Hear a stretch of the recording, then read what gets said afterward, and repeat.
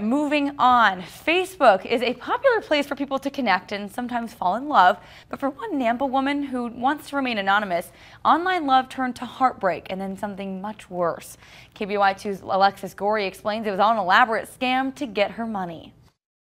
Uh, my kids all told me, Mom, he's scamming you.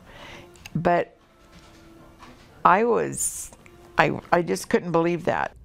72 years old and a widow. She was befriended on Facebook where instant messages turned into texts and phone calls. We shared so much. We shared the same likes and the same dislikes and we shared God and we just, it was the perfect, the perfect lie. They wanted to build a church and start a food bank. I was very emotionally involved with him. I really believed him.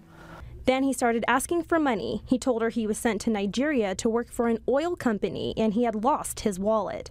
She sent MoneyGrams and hoped for a visit that never came.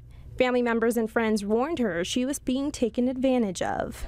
Well, nobody could convince me it was a scam. I learned the hard way.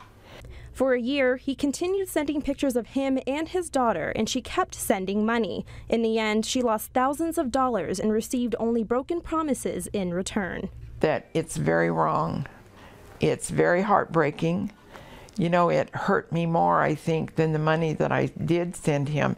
It hurt me more that he lied about his age and he was only 20. I mean, my goodness, I've got grandkids that old. She admitted she was blind to the truth. This is why he would have me call him, because when I'd hear his voice, uh, he could lie to me more and try to convince me more. And it was all a scam. I mean, it was all a lie. Just awful. Well, for more tips on how to better protect yourself from a catfish scam like that, head to idahonews.com and click on this story.